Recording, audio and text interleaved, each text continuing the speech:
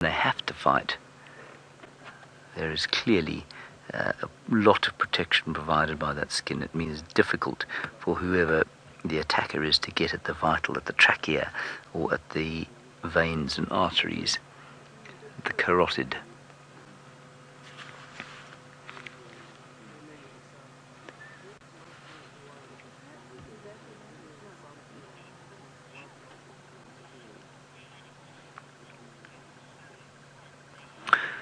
Well, Deborah, that's possible. You say perhaps they had a kill and maybe the dog stole it. Yes, it's certainly possible. Nkanyeni was seen yesterday, though, and not on a kill. Um, well, it's not to say she didn't kill during the night, but that's certainly possible, Deborah. It just would be quite a coincidence for him to have had blood in that vulnerable neck region straight, you know, with the presence of the dogs there. Oh, he's so tired. He's had a horrible morning. The worst kind of morning. And he'd do well to just hang with Mum for the next little while. Because she, of course, will probably remain slightly more alert than he will. He'll be exhausted. He'll be absolutely shattered. The adrenaline that was pounding through his body as he shot up that tree and then waited to defend himself if he had fallen out, nervous that he was going to fall out, that adrenaline now will be ebbing from his uh, endocrine system. And it, I don't know if any of you, you know, if you get a big shock, if you get very um, frightened by something, you, the immediate aftermath is a crushing sense of fatigue. And so that is what he will be feeling right now. He will be feeling a crushing sense of fatigue. But a leopard cannot ever relax completely. They must not.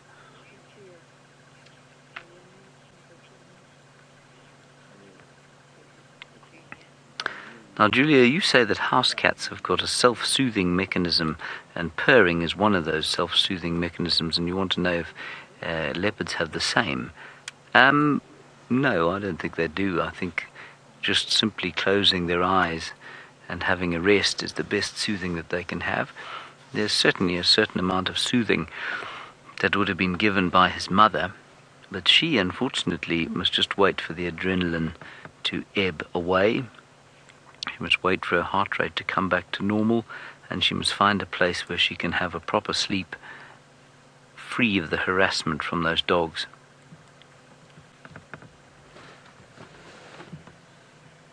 Can you see her there, Craig? She's just inside. I can see one or two spots every so often.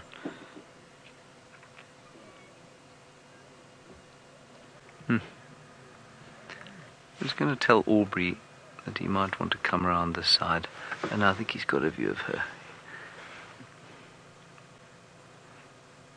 I don't know. I mean, it was when was the last time we saw him? I think it was during the TV shows that Jamie had him.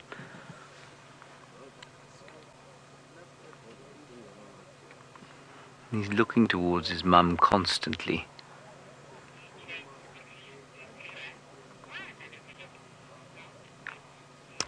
Hello, DJ Scotty. You are a new viewer, and it's wonderful to have you with us here. DJ Scotty, my name is James Hendry. It's good to meet you. And we're sitting here with these leopards, and you're wondering why the leopards are not sitting right here with me uh, in a manner that would be discomforting to myself. In other words, why are they not attacking us? Well, DJ Scotty, first of all, I mean, it's a difficult answer to give, and I'm not sure that anyone quite knows the answer. First of all, they are habituated to vehicles, so the short answer is that they have spent time with vehicles from their very earliest days and they do not associate us with either food or danger. Now, as human beings, most animals don't associate us with food, certainly not out here in Africa. Most animals associate us with danger. They associate us as with a threat. And so what they do is that most aggressive responses that you receive from an animal is born of fear. Now, there's no such reaction from these cats because they are used to us. They know that the vehicles mean no harm, and they know that the, well, I mean, their experience of us is one of relative sensitivity. So we've kind of we're around, but we don't really affect their lives. Certainly not to their knowledge, anyway. So that's one reason. The other reason, of course, is that we are not standing upright. And some people will tell you that they don't recognize human beings on the back of these vehicles, that they only see a shape. And to some extent, that might have some validity. But as a friend of mine once said, you know, a leopard can spot a monkey's ear sitting behind a tree. You can't tell me that they don't see us for what we are in the vehicle. So I think they can see what we are. I just don't think they associate us with a threat when we're sitting down. So on foot, DJ Scotty, if we were to come along here, these leopards would melt away into the grass. And if I got close enough, for example, you could easily corner a leopard in a bush like this. Uh, if we got close enough to corner a leopard here, then they would attack. Only as a last resort will a leopard choose to push home and attack. So that's the sort of long story for why we're able to sit no more than 30 feet from a young male leopard, and he's just not vaguely interested in anything that we're doing or saying. It's a very privileged position we find ourselves in. It's, an, it's a position of, I feel, um, real honor that we're able to spend this kind of time with these cats while they just get on with their lives. It's not just the cats, it's the elephants and the buffalo and the wild dogs and the giraffe and all of these animals.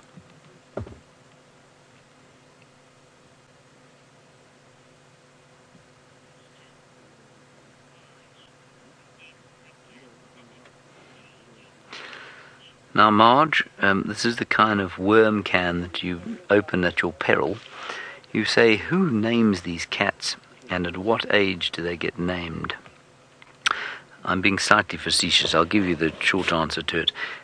Basically, they are named by the guide and tracker who find them first, and it used to be at about a year old.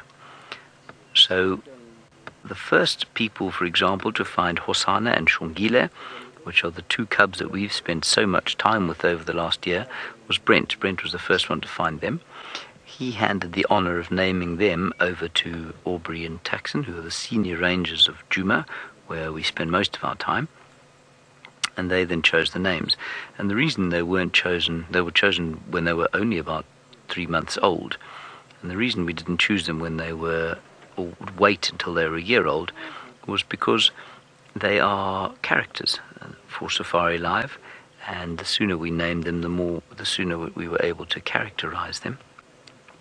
The reason that they normally wait until a year old is because that's the kind of the first real big milestone that's on the way to independence.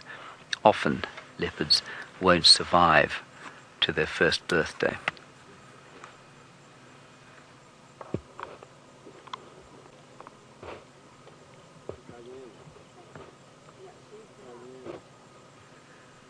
Hmm. Lying down again. Well, Sierra, that's a good question. Where would a leopard keep a newborn from predators?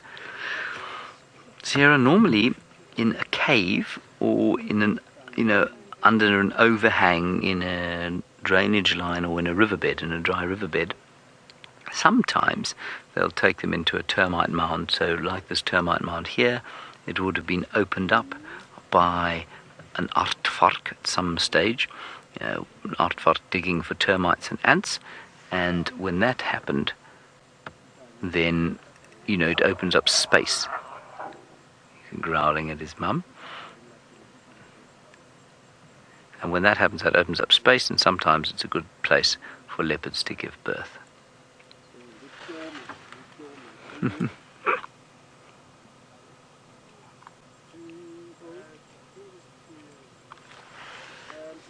Wonderful stuff.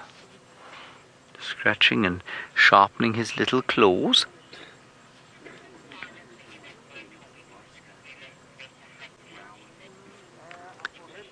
Nikki, you say is Hosana a bigger leopard because is a better hunter? Uh, no, that would be to infer that Brent Leo Smith's mother is a better hunter than my mother.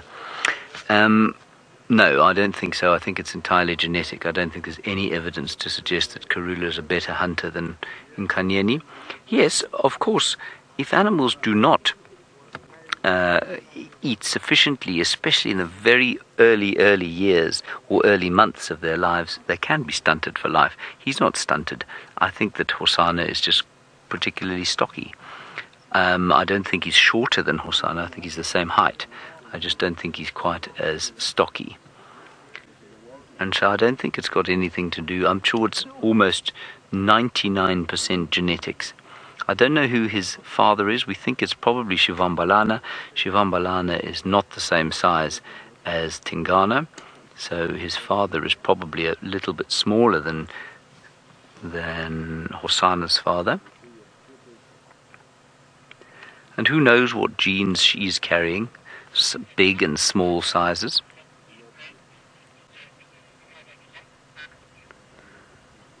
All right, well, there, there we have the two of them disappearing into the shade, so it's a good time to head across to the very tall, of course, Brent Leo Smith, from the short to the tall, and let's find out how his search for Tingana is going.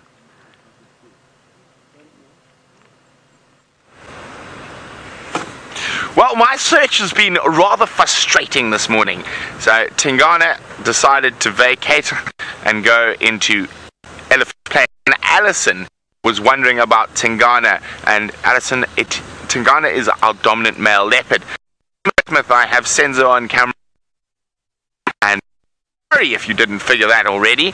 And uh, I'm right on the southern boundary of Arathusa. I've checked the whole of Arathusa's boundary. I got very excited when I found those very fresh Tingana tracks, and then he left. And then I got very excited when I found very fresh female tracks, uh, I don't know who it is. It could be Shadow, it could be Ingrid's dam female, but she's been found now. Uh, but the tracks crossed straight across this southern boundary into Shirley's. So it's just been one of those mornings. It has been absolutely beautiful out here though the light's been spectacular and you, I know you guys have having been having the most amazing time with our secret agent man and wild dogs leopards I'm not gonna lie I'm more than a little bit jealous. And also, if you want to ask us any questions, you can do so by using the hashtag Safari Live on Twitter. And when you see me lean out of the car like this, it means I was checking that junction for any tracks. Now, since the leopards and lions have evaded me, and the wild dogs as well. I'm going to try and find one of my favorite little canids, and a canid is of course a member of the dog family on the southern end of the Arathusa airstrip. So quite often there's a family of side-striped jackal that like to hang about in that area. So we're going to go see if we can find them. Oh my goodness.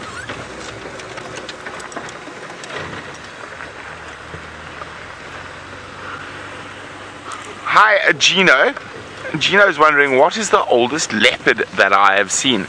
Uh, it'll probably be the 3-4 female to the south of us and the last time I saw her she was about 16 and I know she survived a bit longer than that. Now, isn't this a lark? Now, many of you who have been watching for quite some time will know when we come to the Arathusa airstrip, there used to be a very tall sort of treehouse structure next to Buff Pan. And I thought I was going absolutely bonkers a second ago because it's gone. They must have taken the treehouse down. Now, uh, those of you who will remember that Scott Dyson had a tea party for Gracie in that treehouse. Now, the treehouse has vanished. Well, of course, it's not vanished. I'm sure um, there were some people who took it down, but it used to be right there. And it was very high as well. But, there we go. No more treehouse. It's gone. Wow. And the last time I was here uh, in this particular spot was with a male cheetah, and the treehouse was still here. That was a while ago, but there was definitely a treehouse. When I, I, when I was driving down the boundary, I was looking ahead and I was going, Am I in the right place? Something looks like it's missing. Okay, Now this is the spot where we might get lucky with those side striped jackal.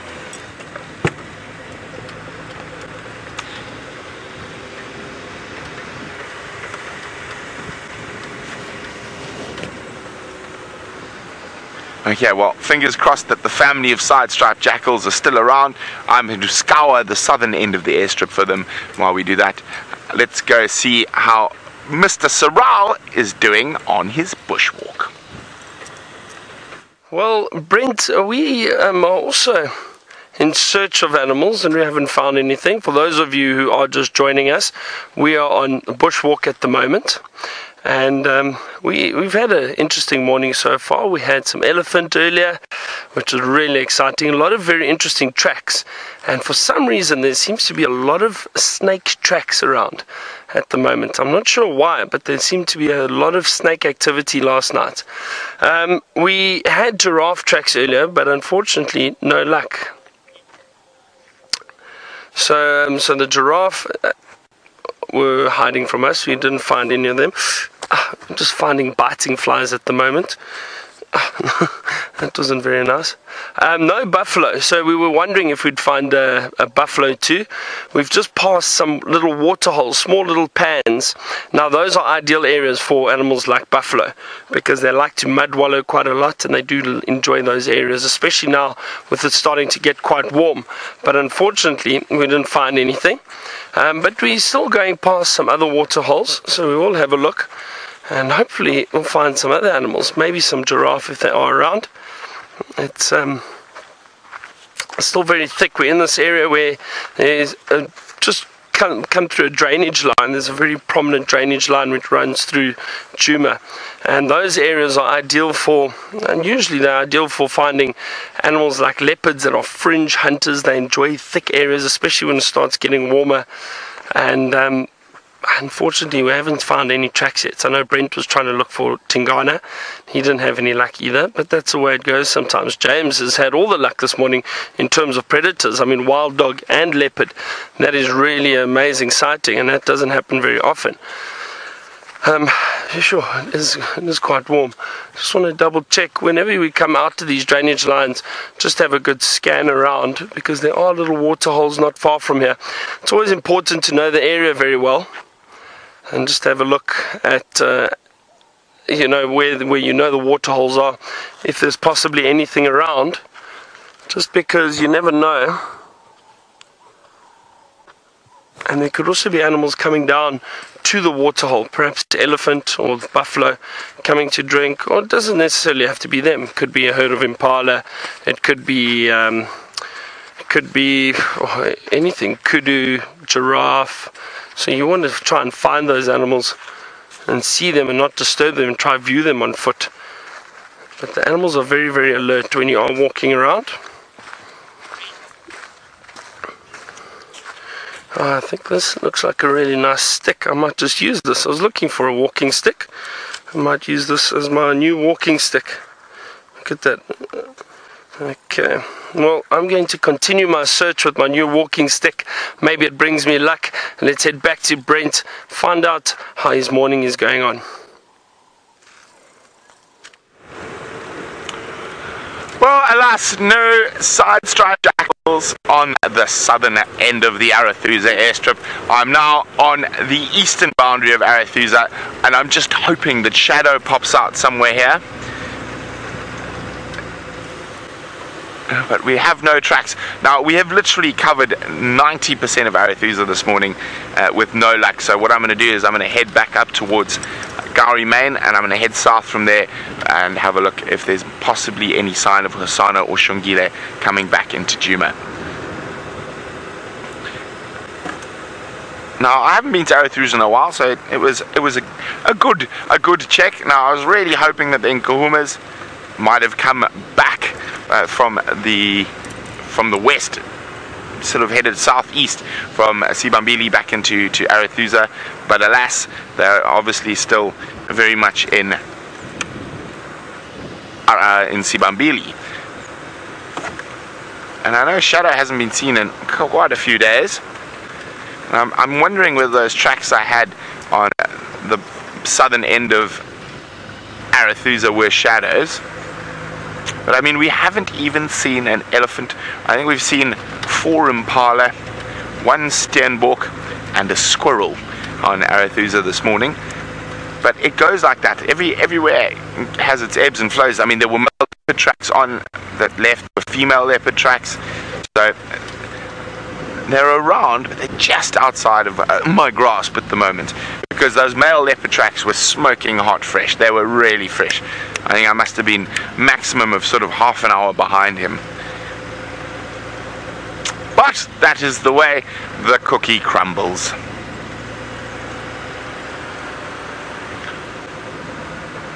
But as with everything, every leopard that leaves, there's got to be a leopard that comes into our traverse somewhere. And of course, we've already had Nkanyeni and Vutomi. Now, I, I didn't hear, but I don't know if James uh, saw any suckle marks or, or, or signs of Nkanyeni giving birth.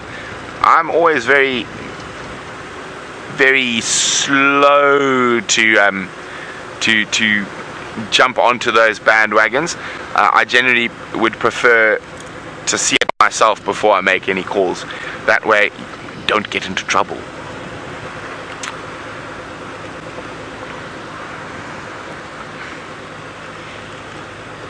So it's not impossible that she she's had birth or and has cubs. It's unlikely, especially with Vutomi being still under 18 months old. Um, I'd say it, it's very possible, but it's it's just unlikely. And I know a lot of people think the reason we might not have seen Karula is uh, that she and she did mate with Tingana, and uh, she could have cubs at the moment. Now, I'm probably not going to be very popular for saying this, but uh, the last time I saw Karula, there was absolutely no sign of any pregnancy on her, and uh, that is a leopard we spent an incredible amount of time with and view constantly. So I'm I'm I'm comfortable to say she definitely was not pregnant. I don't think she is hiding cubs somewhere. The the other thing is that uh, if she was, she's not going to go have have cubs in outside of her core territory and that means even if we hadn't seen her we would have definitely seen tracks of her uh, all the guys to the south of us would have seen tracks of her I'm still holding out hope but uh, we've got to we've got to come to the realization that every day we don't see any sign of her now the more and more chance uh, it is that we're probably not going to see her again. And as sad as it is, that is life. This is this isn't this isn't um, Disney, and animals die here, and they and and they die quite frequently. I, with leopards, I'm I'm quite happy that often when a leopard dies, it just disappears, and you and, and you don't see any sign of it. So, but as I said, there's still hope and we're going to wait a little bit. I don't think we can be we can be positive uh, until she hasn't been seen in six months, for example. But uh, every day that it goes longer and longer, uh, the the chances of seeing her again decrease. Hi, Anisha. Anisha is wondering that uh, when is it true when leopards first give birth? uh, often their first litter is stillborn. Uh, not to my knowledge, Nisha, th- that is absolutely true with hyenas, but uh, not with leopards to my knowledge. And of course, hyenas have a very uh, different and, and modified uh, modified uh, birth canal. Um, with their enlarged clitoris, but with leopards, I wouldn't say it's true. So we're nearly back on the southern boundary of Djuma. I'm just trying to avoid these corrugations. So most of the big main roads or access roads like this one that are used uh, develop some nasty corrugations uh, just because there's a lot of vehicle traffic on it.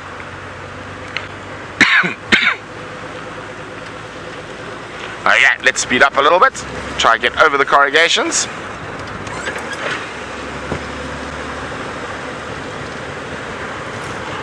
Bit of sand surfing.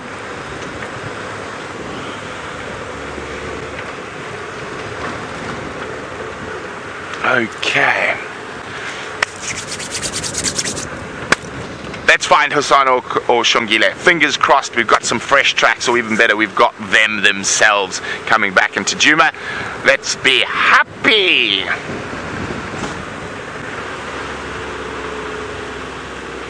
Now, I'm crossing back to Djuma from Arathusa. Let's go to the man who hasn't left Djuma all morning, Byron on Bushwalk. No, I have not not left Djuma, Brent. Um, I think I, it'll be too far for me to walk. Although we have covered quite a lot of distance this morning, but I we just found those giraffe. I'm going to see if we can see them. They did spot us and they moved away. Hang on. So, as I said, checking these water holes is important. Um, now, let me see if this giraffe is still around. I only saw one, just the, the head of one, and then it moved off. Let's walk in here a little bit. Luckily, I've got my big stick, so I'm not too worried. just want to double check there is a um, there's a water hole ahead so I just want to make sure that there's no buffalo or anything around see if we can't find this giraffe I wonder where it disappeared to it's amazing how these tall animals can just disappear so quickly I don't think it's very far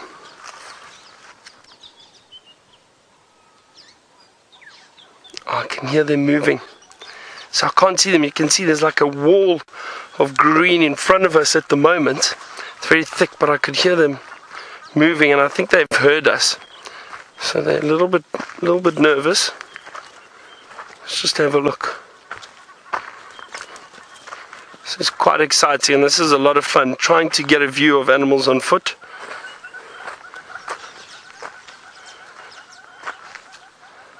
I think they've moved off, unfortunately but you can see how thick it is. I mean, it's easy for these big animals to disappear. Oh dear, so, oh, there the oxpeckers just flying over us. Okay, I'm gonna just check this area once more, see if I can find those giraffe. But let's head back to James, who still has those leopards. There we are, everybody. They have moved off now and I think that they're going to go into the thick bush. I might go and climb a tree, might do a little bit of hunting. We're going to follow them for the next two or three minutes, but this bush, the grass is so long and the bush is so thick that I think it'll probably be more trouble than it's worth after we've had such a wonderful sighting of them. So let's just spend as long as we can with them, and then we'll probably let them be. There they are.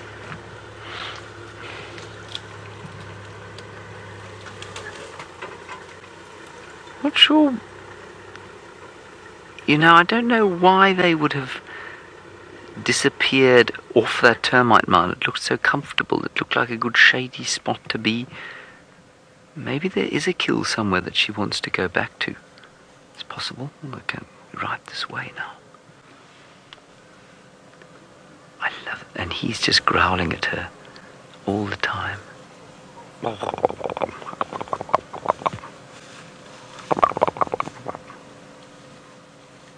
He's desperate for affection.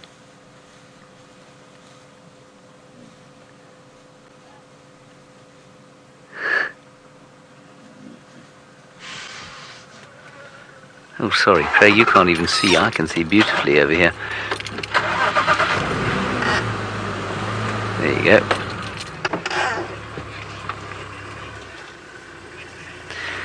Well, Dingo, you say is there vocalization between mother and cub when they are when they're in danger. I don't think there's a huge amount. No, I think they tend to be very silent when they're in danger. They're going back towards that tree. He's they're going straight back towards the Ziziphus bush. Dinga, they, they will just growl at whatever the threat is. I don't think that they will. They might I mean, they, they did talk to each other a little bit from the top of the tree where they were, or the two trees that they found themselves in. They were doing a little bit of sort of contact calling, but it wasn't a huge amount.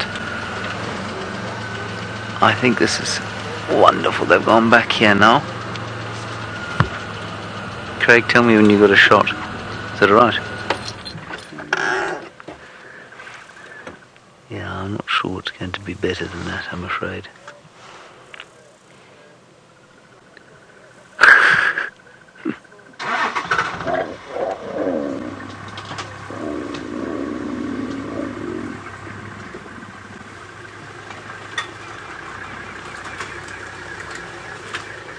See, she's looking at us now. She looks pretty relaxed, I must say. She was just giving us a little bit of a hairy eyeball there.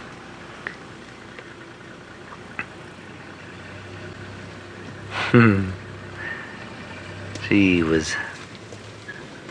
What a morning we've had.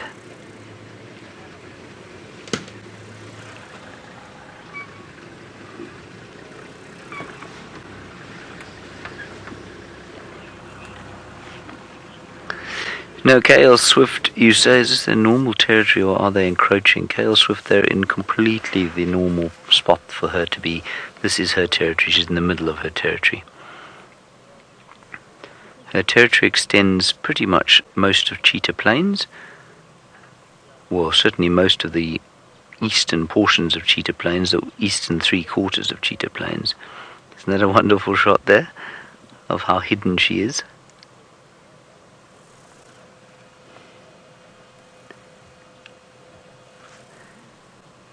And so she's completely in her territory, yes. We are now in the middle of Cheetah Plains, pretty much. I wonder why they moved off. I'm not sure. The activity at the sighting is very much reduced. There's not a lot going on here. It's just us and Aubrey. She, she's watching us. I'm just going to talk quite quietly and ask Craig to move very slowly if he does move. Not because I think there's any danger, but because I think she's obviously still feeling uneasy after what was a very trying morning for her and young Vutomi.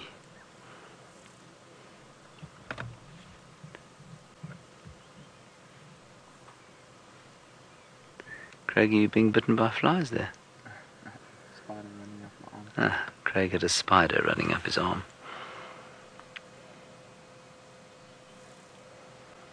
It's starting to get quite hot now. I imagine the temperature's probably gone from about 75 degrees or so, pushed to around 82.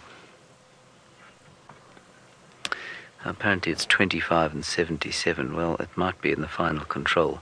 It Doesn't feel like that here. Of course, we are sitting in the sun as opposed to in the shade, so we're Nkanyeni is sitting there, it's probably about 25 degrees or 74 Fahrenheit. Stierling's wren warbler in the background.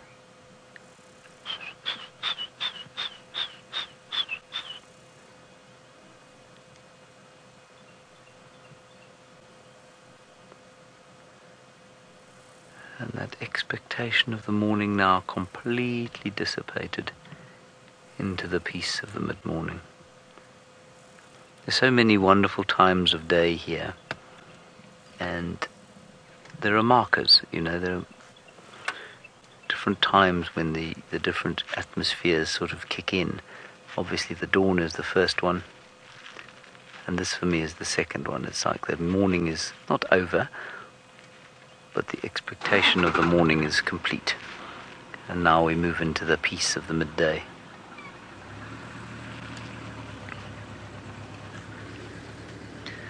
Right, everyone. I don't. I don't. I'm not going to move the car again to get a view of her.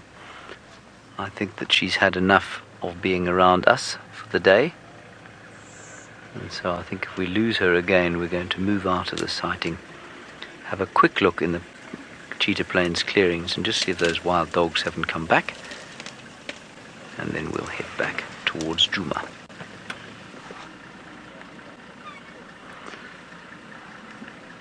Alrighty, well let's head across to Byron, who apparently has not managed to find himself his giraffe, but he has managed to find a plant known as Hyperthelia dissoluta, I think.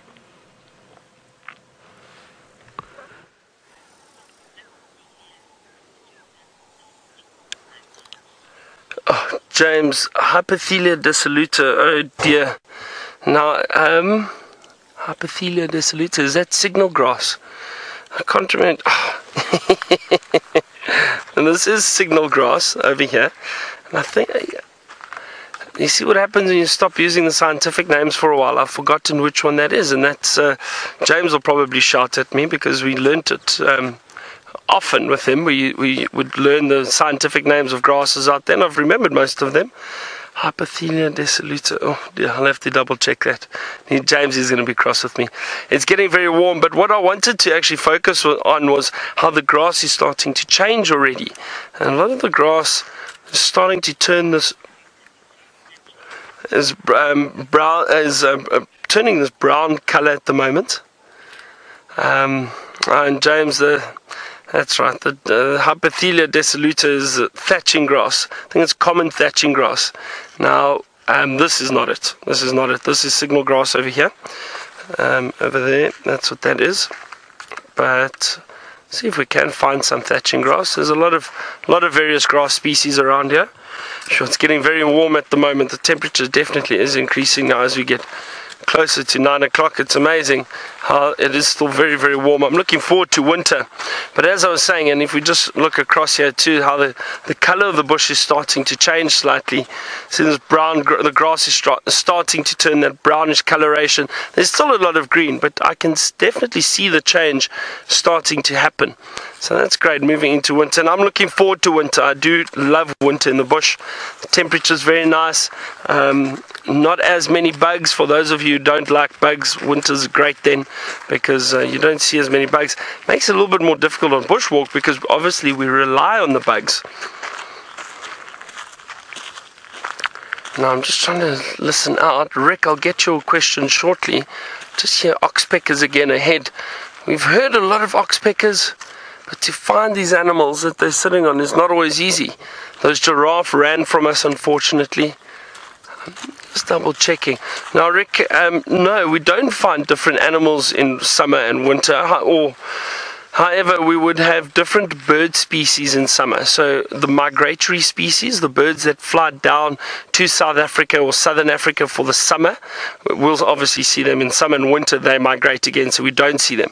That's about it. But in terms of the, the wildlife and the, the mammals and the reptiles, and the, they're always around. So um, we'll always see them. That doesn't change. Down here, we don't have migrations. Uh, the animals, uh, because the temperature in these most of these areas is pretty stable throughout throughout the year, and there is generally food and water around. There's no need for them to migrate. Um, the only thing is, I suppose, they, they may move into certain areas looking for food and water, and obviously the, they, they'll have to feed on different vegetation, especially the herbivores. But they'll always be around, which is nice. So, so that doesn't change at all and none of our animals hibernate. Well, unless I suppose the snakes do, the reptiles do, um, but no, none of the the mammals uh, will uh, will hibernate. It doesn't get that cold yet, even though, like I said, the temperature does drop, and the behavior of animals might change slightly. They might be more active, and I'm referring to, to a lot of the predators. They'll probably be more active and move around a lot more in the winter because the temperatures are cooler, which is really nice for them. But in the summer, they'll rest a lot more. Like now, I would say that lions, most of the leopards are probably starting to settle down for the day, find some shade and rest because it is starting to warm up quite a bit. I know if I was a lion, that's exactly what I would do. And that's what those males were doing yesterday. It was very, very warm. They found a nice shady spot and they decided to go and rest. I'm just having a look. I mean, there are a lot of these old little mud wallows, and you can actually see one. Actually, just have a look here quickly, um, because I'm curious. I think this is completely dry at the moment.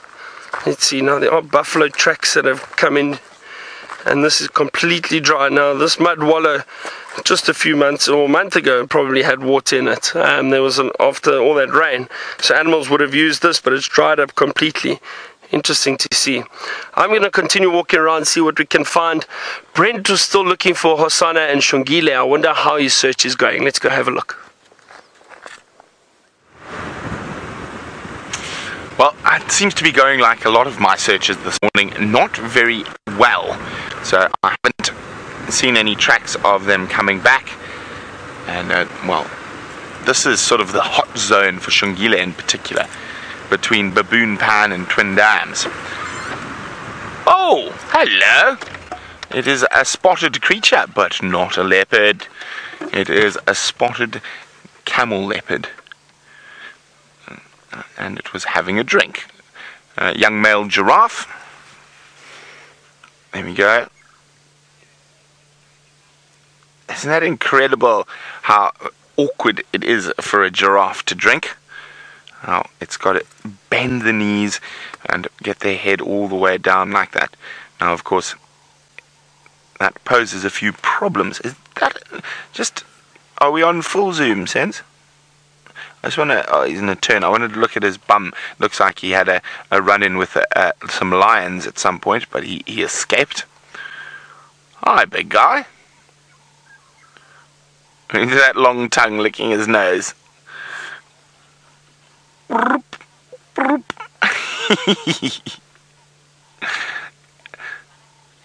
That's a new definition, um, well, of picking your nose. Imagine if you could pick your nose with your tongue. Well, a giraffe can. uh, he's probably just trying to get water out that might have snuck into his nose. Oh, he's going to go down again, it looks like, for another drink. No.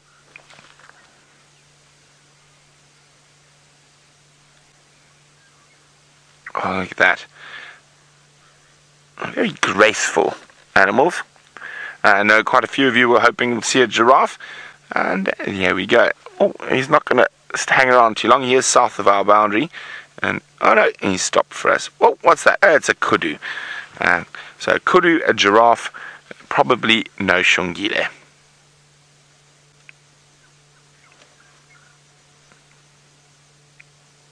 It looks like he's thinking about where to go and what to do next. Ah, and just bring up some cud while I decide. So, re-chew my food before I go looking for some fresh food. You can see the bolus in his mouth in his cheek there. When he stopped chewing, he seems to be listening to me. There we go. Start chewing again.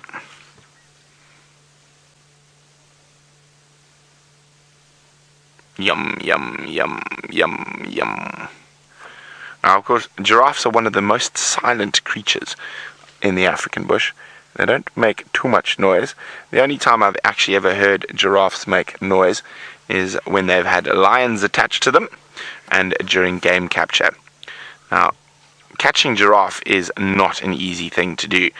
And uh, what you do is you half sedate them, so you don't give them a full dose from the dart gun, because otherwise they could fall badly and hurt themselves.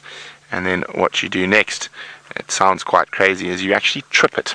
But you try to trip a giraffe slowly. So you run with ropes around its legs and you try to bring it down very very slowly. It catching giraffe is very very dangerous uh, for the humans and for the giraffe.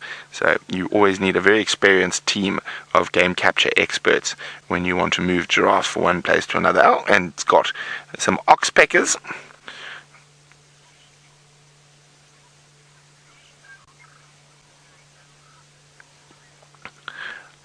Hello, Winter Prism. Winter Prism's wondering, do giraffes in the wild ever lie down? In Indeed, they do. Um, of course, not on their side, but they'll tuck their legs in and they will lie down, but their head and neck will still stay up. And to be as tall as they are, they've got many, many different, uh, very specialized genetic oh sorry, evolutionary adaptations. So the valve at the base of the skull that stops the he- uh, the blood rushing to the head when they drink, the tight skin on their legs that stops the blood rushing to their feet all the time. So very very specialized creature.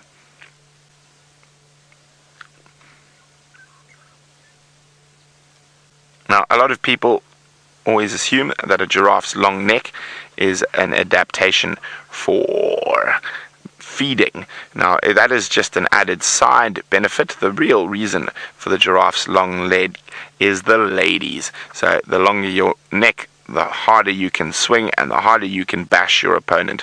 So it's a sexual adaptation, which is mo- most uh, adaptations in all animals uh, ha- have to do with either food or sex. Now there's a leopard track, and that looks like Hosana, but crossing into Little Gowrie. Oh dear, he snuck in and he snuck out. Little devil.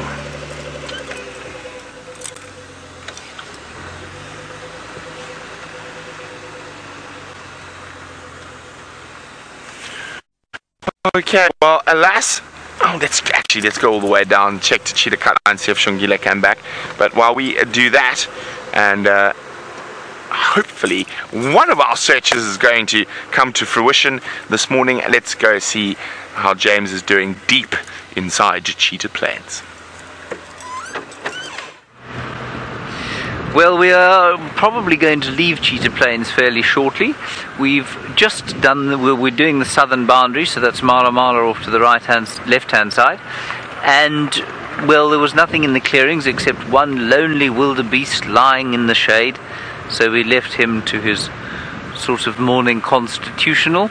I think the dogs have carried on to the south.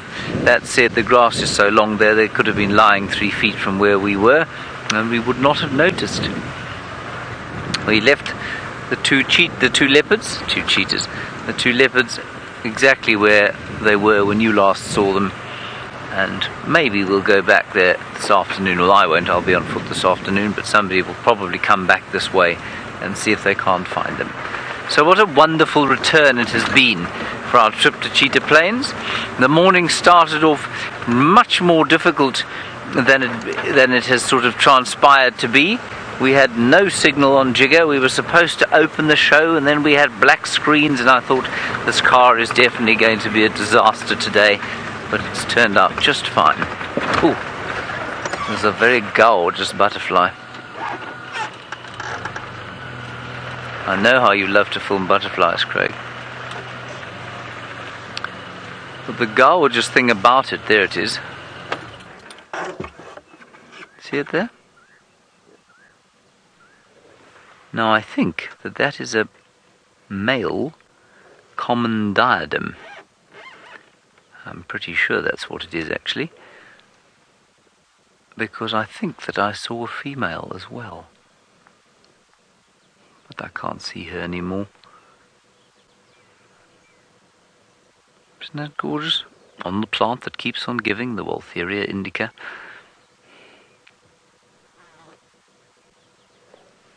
It is a very, very great shot of the common diadem. Then, Craig, just to the right hand side there, there's another butterfly. It's brown with a sort of white triangular stripe on it. Can you see it there?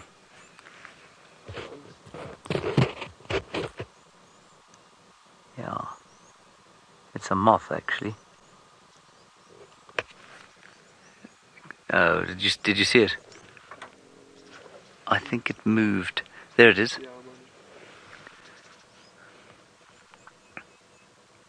It's not a moth, it's a butterfly. With its wings folded up at rest. But it's a fatty, it looks a little bit like a moth. It's a real fatty.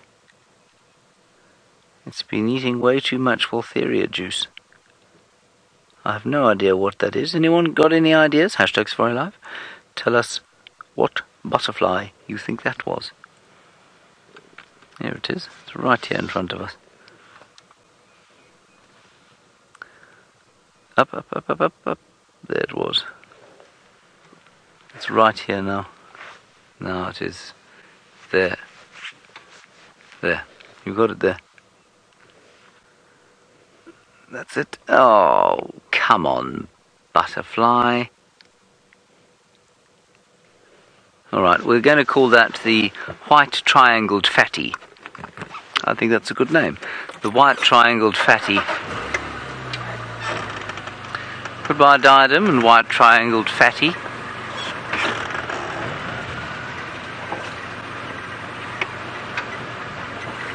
Of course, evidence that the Styx pride would be quite nice at this point. and find out where they are. Haven't seen them for quite some time. They were last seen by me on the airstrip at Arathusa, but that was some time ago. Is this a road? I think we'll take this road. The bush is so thick here and it really it becomes very difficult to spot anything. Oh, there's an elephant. Now, Mead, this is a very good question for what we're just about to look at. You say, is there anything in the Kruger Park that I would change to benefit the animals? I probably would. Um, there we go. Young elephant bull. Mead, I would remove all water points that were not rivers, and those rivers that have dried up as a result of human intervention, for so because we've sucked them dry because of agriculture or residents, I might then pump water in small pans along those rivers. So I would not have any dams. I would do away with all dams because they're not natural. What that would do, of course, is result in a massive die off of impala uh, quite possibly elephant. And I just think that more balance, although balance in nature is a ridiculous concept, I'm not going to follow him, he's going through some thick stuff there. Um, I just think it would provide for a more diverse ecosystem, with which is probably how it was before human intervention. So in the you know in the early days of the Kruger, we assumed that providing water for animals was a good thing. Uh, it certainly benefited some, but it certainly uh, was disastrous for many others. So I would take away artificial water. I would try and make sure that I would probably increase the number of tourist roads. Tourism is extremely important to the Kruger Park. I think that uh, tourism is the only way that conservation will survive because well, obviously it provides funding, but it also, the more accessible you make a place like this to people, to tourists, the more, of course, people will fall in love with the wilderness and be inspired to look after it. So I would probably increase the number of tourist roads and things, and just not to the impact or detriment of the animals, but certainly there are vast swathes of the Kruger that are not uh, enjoyed by tourists, and that's okay. But I'm not sure that it's necessarily to the benefit of all conservation. Then I think that the size of the Kruger Park at about three and a half million hectares, uh, if you combine it with the Zimbabwean portions and the Mozambican portions, is probably almost large enough to leave as an open system. So I would try and take hands off completely. I would try and make sure that no more culling of hippos took place, that there was no culling of elephants and impala and buffalo, because those animals have increased as a result of the provision, I think, of artificial water. So I would very much try and take a hands-off approach where we allowed nature to take its course. Now, that what that would do, of course, unfortunately for some, is that it would cause times in times of drought or in tough times there would be die-off of animals, and there would be areas that started to look like deserts. But that's how it's always been, and so we would just have to come to terms with that with that being the case. So those are the things I guess that I would do. Whether I would be correct in doing those things or not, well, that is another matter. Because everybody who owns a piece of land or has the. Oh, goodness gracious me. There seem to be few animals in the way here. This elephant is thinking to itself, hmm, I'm not sure I'd like to live in an area without artificial water provision because I quite enjoy going to artificial pans to bathe in the mud and drink the fresh water.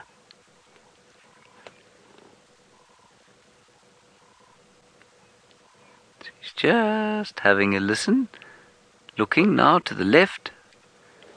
That entire little suite of behavior we watched was entirely for our benefit. She wanted to know what we were up to, what we were doing, why we were here. And I think they are actually going towards one of those water points now. I think they're going towards the three in a row pan. We'll follow them for a little while because we ain't going to be able to get around them. Sorry, Donald, the communications are not great here. I got, how can elephants drink that? Sick. Ah,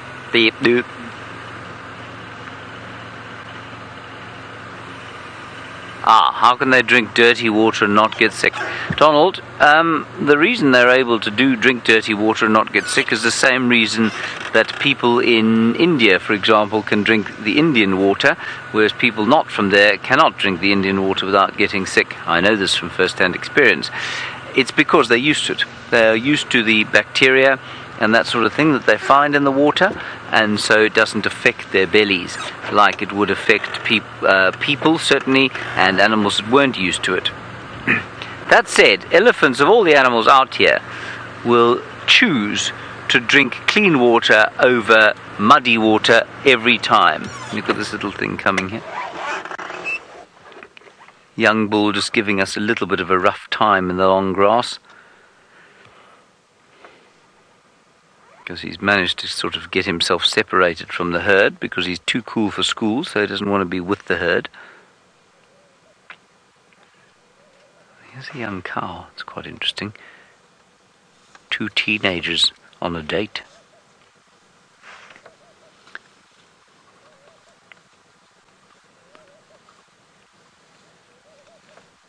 That's interesting, you know. Do you see that the way her tusk is recurved like that? I wonder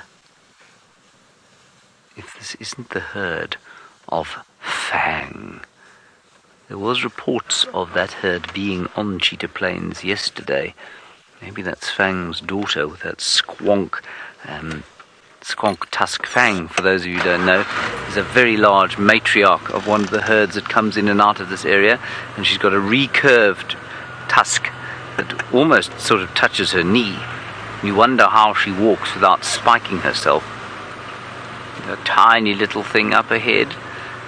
Now, this kind of movement of elephants definitely indicates a sort of beeline for either a feeding point or for water.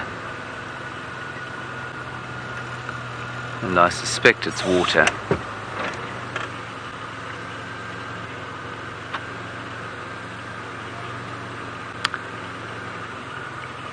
And the question is now, of course, were Fang to have a daughter, would her tusk be recurved because of some genetic defect? Yes, I think probably.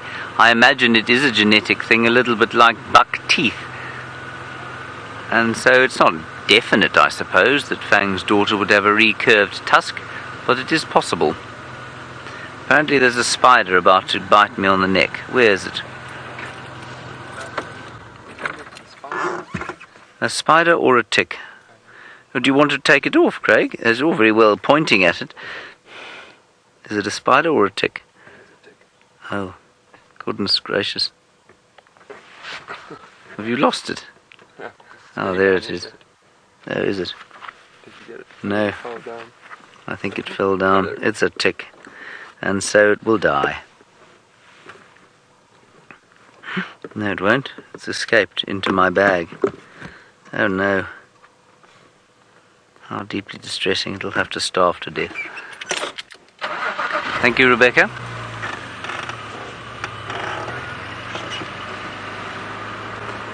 Nasty arachnid crawling along my crawling along my shirt. So I would say yes that the genetic chances of Fang producing a uh, elephant with a squaff tusk are probably much higher than any other elephant would have in the same way that if you have buck teeth, uh, you will probably birth a child with buck teeth. Or quite possibly. They're all settling to feed a little bit now, so maybe they've decided to come to a feeding ground. Maybe it's not necessarily water that they're going for.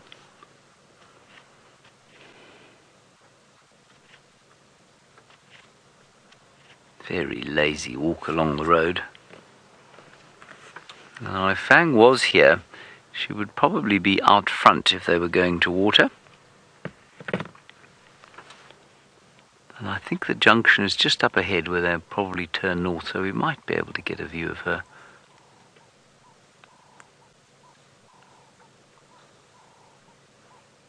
Yes, they're having a nice feed now.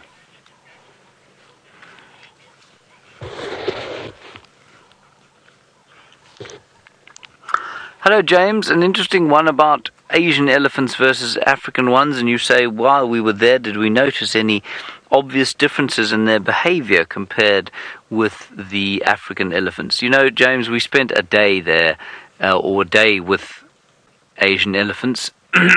and during that day, uh, you know, we don't, we didn't get to spend the same amount of time with them that we do with the African elephant. So, I'm going to say no. I didn't notice anything vastly different. I, it felt so familiar. It felt ex- very familiar to be around those elephants. They spoke in the same way to each other. They trumpeted at each other in the same way. They reacted to vehicles with much the same body language. So, no, I mean, there really wasn't much of a difference. I'm sure that if I was to spend more time with Asiatic elephants, um, I would notice much greater numbers of differences. But I didn't this time round.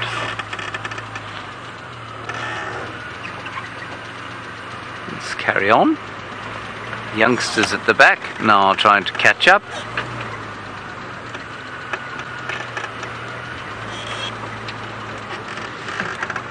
Alrighty, we're going to go towards three in a row pan. We'll see if the elephants make it there. While we do that, I believe Brent is also approaching some water. It's getting hot enough for a swim.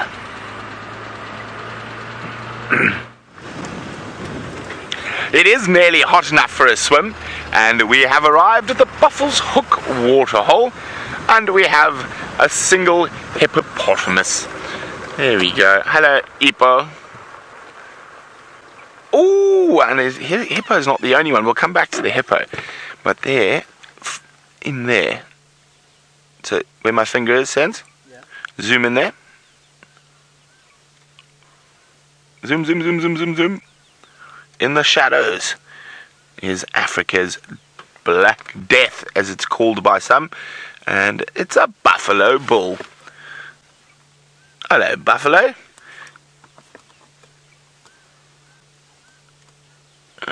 Now, as James said, it's getting hot enough for a swim, and that buffalo, I think, is indeed heading down to the water for a wallow and a drink. Now, it doesn't look like the most relaxed buffalo I've seen. You can see those head head swings and the odd snort. And there's an oxpecker sitting on top of its horns. Hello, buffalo.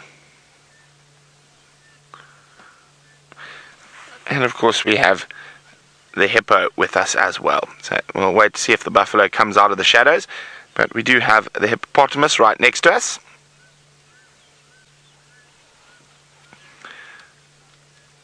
There he is. Now, he enjoys the swim almost all the time, except in the uh, night times when he's out looking for food.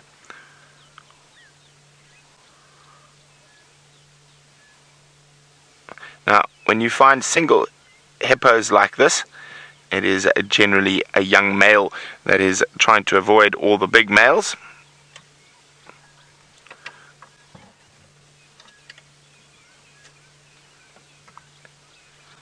I love that sound when you hear the water of the hippo breathing.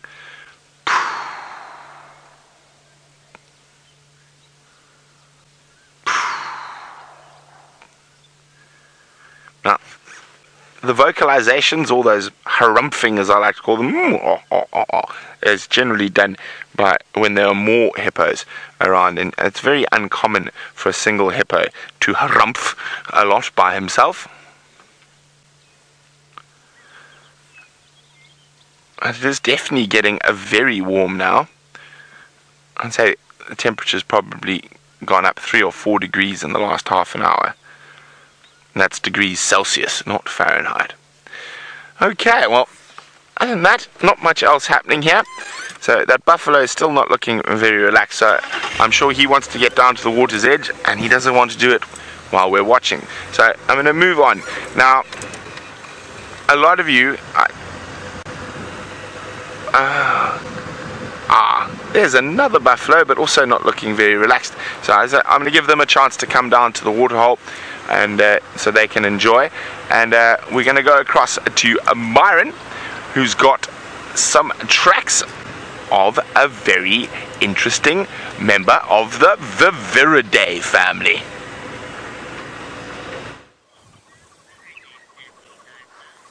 It is indeed of the Viverridae family, and this is a little civet track, Brent. So you're 100% right, and I can just see a beautiful.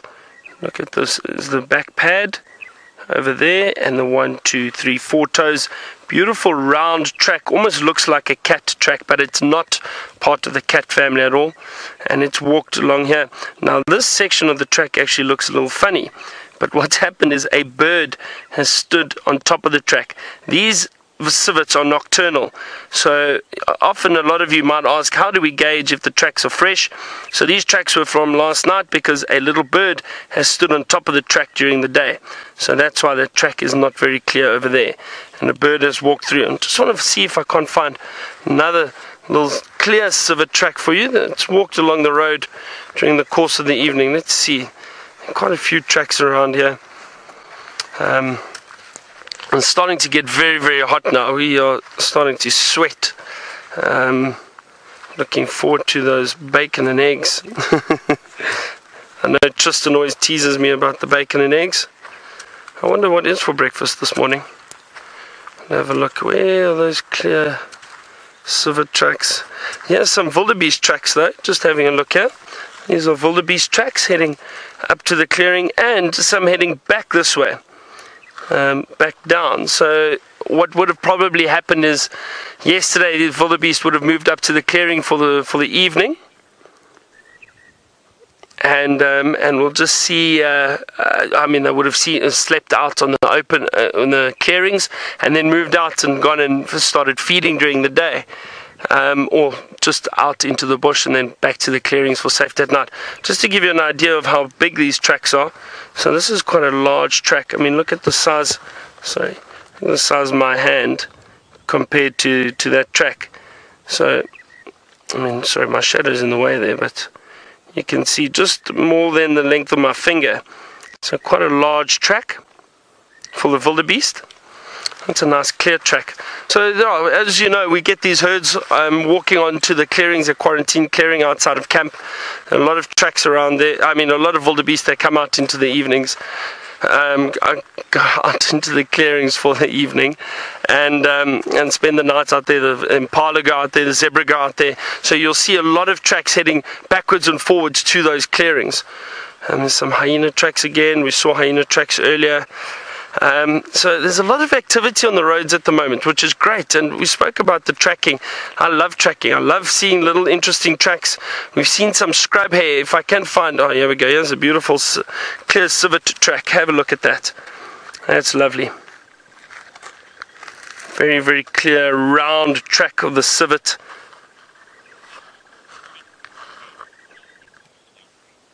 And that's a, you that's a really, really nice clear track. Now, we've just been focusing on the tracks for a while, but James has had a lot of luck with finding animals, and it sounds like he's got quite a lot of activity at one of the pans. Let's go see what he's found there. Here we have the same elephant herd. They've just come down to the water here to have a drink. It's marvelous stuff watching them like this. It really is very special.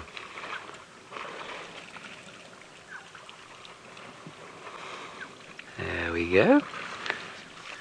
And the water's relatively clean because I think it's being pumped at the moment. And it's not Fang's herd. I thought it might be Fang's herd, but it isn't. She is certainly not around here. So I'm not sure exactly who the matriarch is. but there are no very old females in this herd.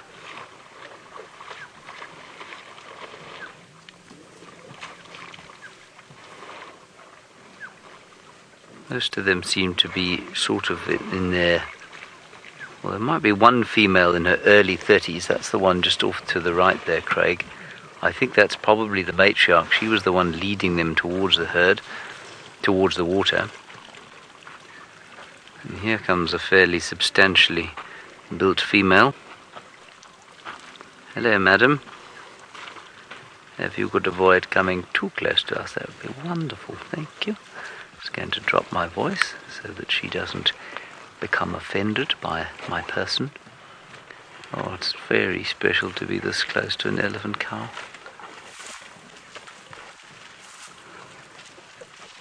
Of course, the temptation is such that you just want to reach out and touch one. Obviously, you don't do that because that would result in death. And no one wants that, Craig, do they? No. They. Very short drink, not a long drinking session. And I find that quite often.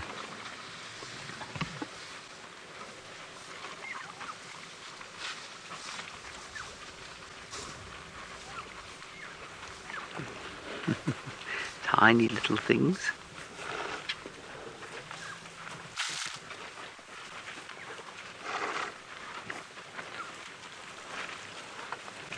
Hi guys. Have a good day.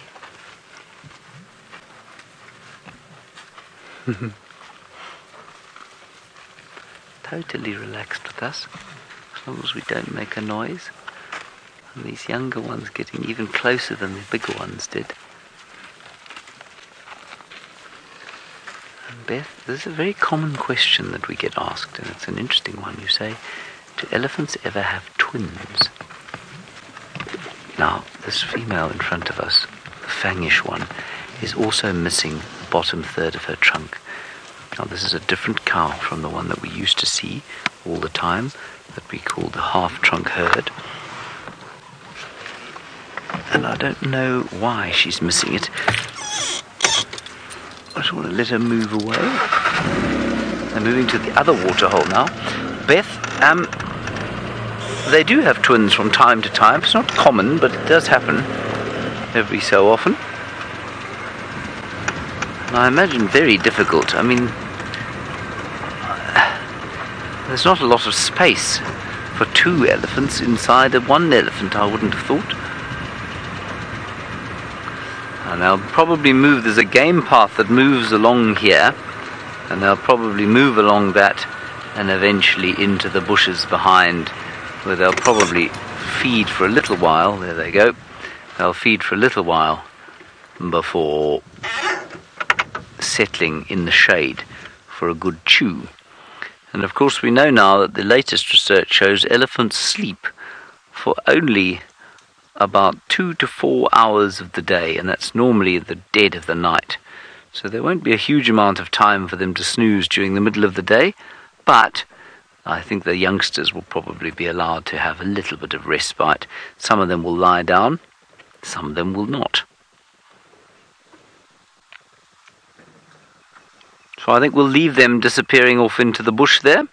And I'll show you one more thing here at three in a row pans. There is a lilac breasted roller sitting out in the open. Can you see him there? Yes, that's him there. And I'll tell you that in India we saw something called, unsurprisingly, the Indian roller, which looks like a lilac breasted roller that has just dived into the mud. All the colours just much darker. Yes. You see, he agreed with me there. Did you see that, Craig? He said yes.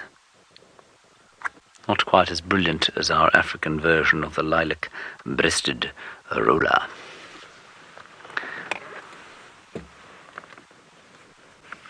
Marvellous. Good, on we go.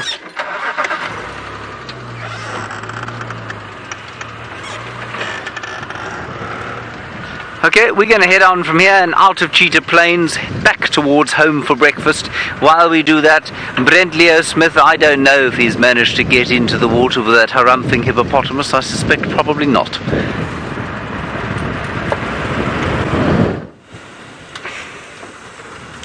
No, no, I avoided going for a swim with the grumpy hippopotamus, and uh, I heard some monkeys alarm calling, so I came down here, and uh, they've disappeared now. But it, it's very interesting because normally in this area, when the monkeys alarm call, it's at a leopard or a lion.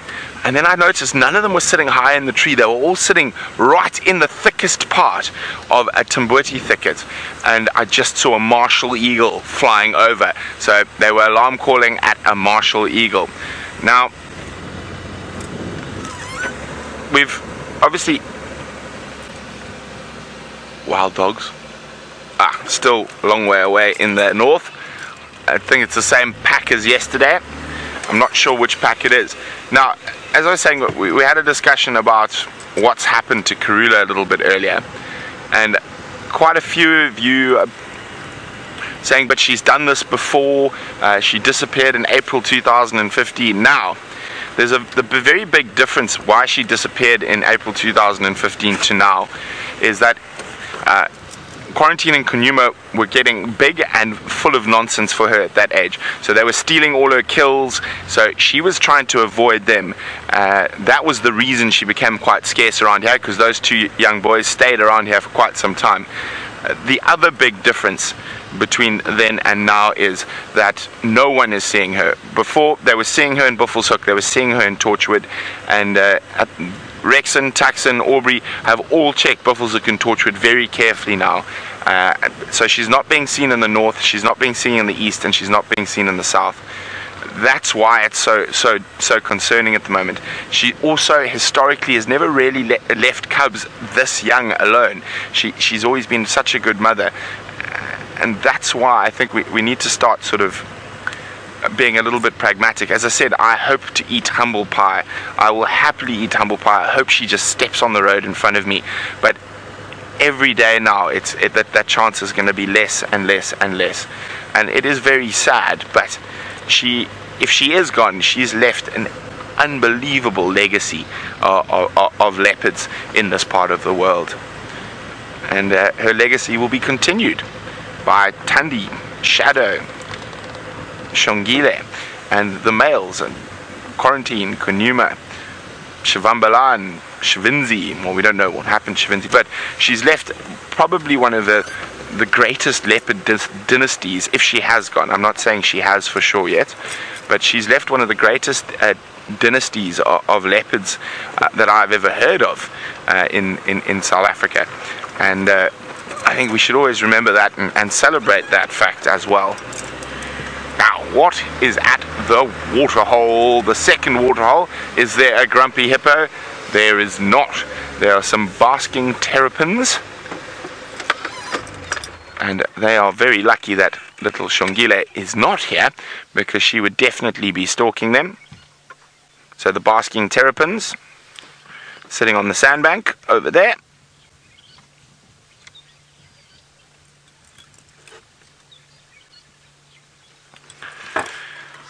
There we go. Enjoying the nice early morning light, or, the not so early morning um, warmth at the moment. So it's, it's nice and warm now. So helping regulate their body temperature by basking in the sun. And once it gets a little bit warmer, I'm sure they're going to go plop back into the water. Other than that, we can hear all the oxpeckers to the left of us and Oh, there's a whole tree full of birds.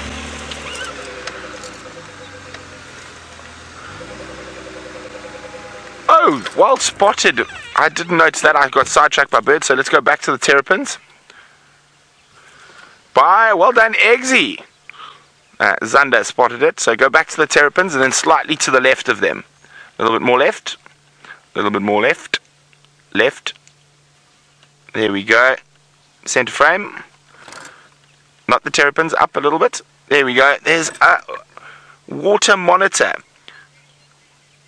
A big one. And that was what Shongile missed. She nearly caught that big, or one of the big monitor lizards uh, a few days ago, but she ended up catching a baby one. So there we go. And of course, it, there always seem to be a lot of more monitor lizards at this particular waterhole than the others. And I wonder why. Now, the main reason, probably at the moment, is that there's a lot more sort of vegetation in the water here, so drowned grass. So you're going to have a lot more aquatic insects and frogs that the monitor lizard is going to love feasting upon. And like everything out here, they get feasted upon as well. Now, Kirk is wondering, uh, are we next to a natural water source? Uh, Kirk, this one is actually a man-made water source. So if we come out, you can have a look. Um, we're actually on the dam wall. So this is the Moati River, and uh, there's a dam being put here many, many years ago. And what happens is that when it rains, the water flowing from upstream hits this big earthen wall and stops and forms a, a deep water source to the to the side of us. Now, let me see, I was trying to see what birds were in the tree, but it looks like they're just doves. That's quite boring. Doves. Let's see if we can find something a bit more interesting than a dove. Oh, there's another. Look at that. You see him? Sense? Um, see it swimming. You got it. Look at that. There's another monitor lizard. And that one's swimming through the water in that flooded grass I was talking about. So hunting for different aquatic creatures to snack on.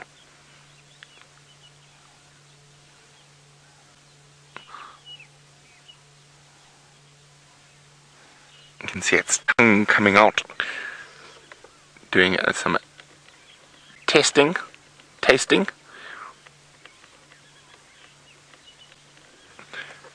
That's so cool. Now we had two species of monitor lizard here, the water monitor and the rock monitor. Uh, of course, this, as you can see, is a water monitor. Now, the water monitor is also uh, able, or the rock monitor, sorry, is also able to swim, but uh, would prefer not to. And there is another species of monitor lizard in Africa, which I've been lucky enough to see, and it's also very, very pretty. It's called the ornate monitor, and it is another type of water monitor. Let's let him slither off. Or, or, sorry, let's not slither. He's not slithering at the moment. He's swimming off. Uh, taking to James's idea. Except uh, if I was going to go have a swim, we have a perfectly good swimming pool at Ingers. Okay, well, I was hoping for an interesting bird or two, but looks there not to be too many around here. Just a massive amount of doves. And uh, let's go across to Bushwalk. Who's got something who wants to say new?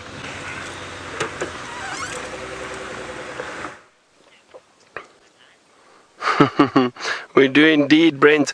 And we saw their tracks earlier, or we saw tracks of one wildebeest. And I said they move backwards and forward from the clearings, and these ones seem to be lying out on the clearing at the moment. And I think the reason is because it's so hot, they're looking for a bit of shade. So nice to see the wildebeest, the herd of wildebeest. Just trying to scan. I was hoping to see some impala and that around here too. But for the moment, I just see the wildebeest. And I think I think what's happened is the other animals, like the impala, have possibly moved off, and they probably feeding through the through the thickets at the moment, trying to stay in the shade. It is very hot, but there's a lot of grass still left on these clearings, so that's why these animals are happy to stay here. Nice to see a group of wildebeest. Let's walk a little bit and see how they react to us. We might get one or two snorts from them, and they do have that very entertaining alarm call. And that's basically how they get the name Gnu. Is that I can't do it, but uh, it's a very strange sound. Give it a go. Yeah. Yeah. Hey, that's pretty good, I think. Yeah, not bad. There, we're getting some snorts now. Let's see. Ah, now they've stopped.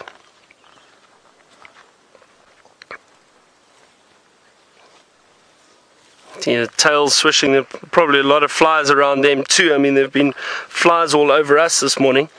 So, checking for ticks. No ticks.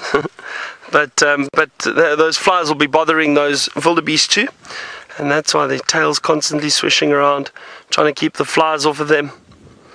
Just scanning to see if there's nothing else around at the moment, but there isn't. I think we'll be able to get a bit closer to these wildebeest. They seem pretty relaxed. They've seen us. They know we're here. Um, and I think also the reason they're quite relaxed is because they see people walking up and down quite a lot. So they hopefully won't move off too far. But look at that perfect little shady spot that they found there. Um, dear, what? Uh, Rebecca, who's the, the McCurdy hurdy? What was that? Zebra or? Ah, the, zebra herd. Sorry, I, I forgot about the McCurdy hurdy. I'm guessing that was Taylor's name that she gave to them. Um, no, unfortunately not. No zebra around at the moment. Um, they've probably gone on holiday like Taylor has. Maybe that's what's happened. I don't know.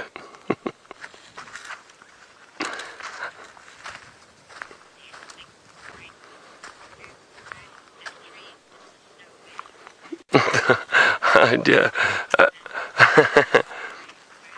oh wait, Brent's got a beautiful bird he wants to show you quickly. Let's have a look. Well, you can see that incredible iridescence shining off a Burchell starling in this late morning light, and he's foraging away in the grass, trying to catch himself some breakfast. And not too successfully so far. Oh, there we go. Senzo spotted another one. Oh, there we go. There's one sitting out in the open. And you can see the heat haze already uh, behind that starling. So it's getting hot very quickly this morning.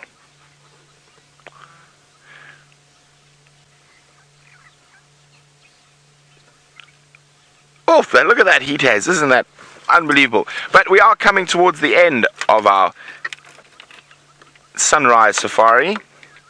And we're going to keep moving up towards quarantine. And it has been, well, a very spectacular drive. I am absolutely, completely, and utterly riddled with jealousy this morning uh, for what you got to witness with James. And uh, oh, that must have been incredible. I can't wait to see the footage of those dogs jumping up trying to grab the leopards. Uh, very, very exciting. But on a positive note from our side, we had a very different drive to James. Uh, very few sightings, but uh, we did get a good chance to check the whole perimeter of Arathusa and Djuma, and we can comfortably say that there is nothing here. They have all left us. But that means they could come back for the sunset safari, and I'm sure someone is going to be following up on Nkanyeni and Vutomi and possibly even those wild dogs. So from Senzo, myself, and the whole Safari Live team, we will see you in a few short hours for the next adventure.